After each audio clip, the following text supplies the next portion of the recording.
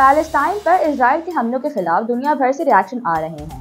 जहाँ दुनिया में इसराइल के खिलाफ एहतजाज जारी हैं तो वहीं मुख्तलिफ़ ममालिक ने इसराइल का बॉयकॉट भी शुरू कर दिया है।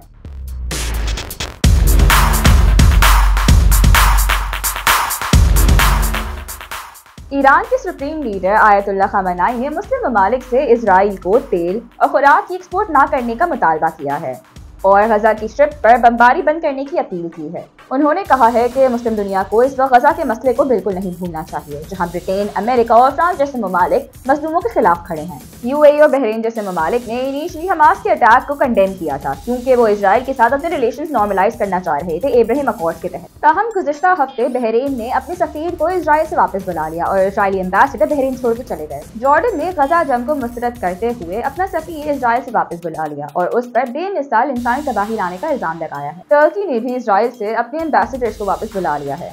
28 अक्टूबर को होने वाली प्रो पैलेस्टीनियन रैली में सदर तैयब अर्दगान ने कहा था कि टर्की इसराइल को वॉर क्राइम का मुजरिम करार देने की तैयारी कर रहा है। अफ्रीकन यूनियन ने 7 अक्टूबर को पैलेस्टाइन के हक में एक बयान जारी किया।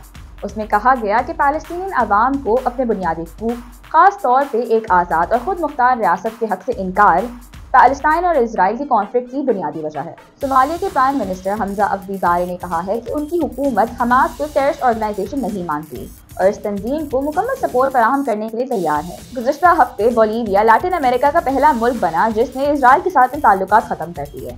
उसकी हुकूमत ने कहा है कि इसराइल के हमले जारहाना और गैर मुतनासिब हैं। दो दीगर लैटिन अमेरिकन कंट्रीज़ कोलंबिया और चिली ने गजा में पड़ते हुए ह्यूमैनिटेरियन क्राइसिस के तहत इसराइल से अपने एम्बेसडर्स को वापस बुला लिया। इसराइली एम्बेसडर ने कोलंबियन प्रेसिडेंट के गजा से मुतालिक बयान पर तनकीद की थी।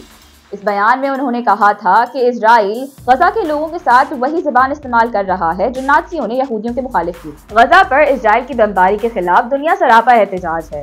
लंदन, ढाका और इस्तंबुल जैसे कई शहरों में लार्ज पब्लिक प्रोटेस्ट किए जा रहे हैं।